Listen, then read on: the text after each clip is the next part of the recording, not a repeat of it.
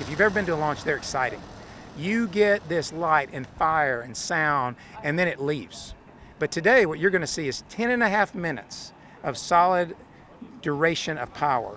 You're going to get the full Monty, if you will, of the power of these engines as they go through flight.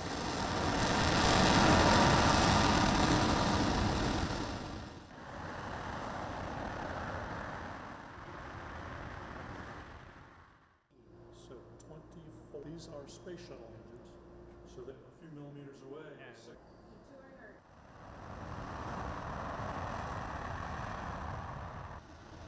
One good test is worth a thousand expert opinions. So, as you can imagine, in the development of a stage like this, um, there's there's endless design, analysis, assumptions that are made, and the only way to prove that is to test it.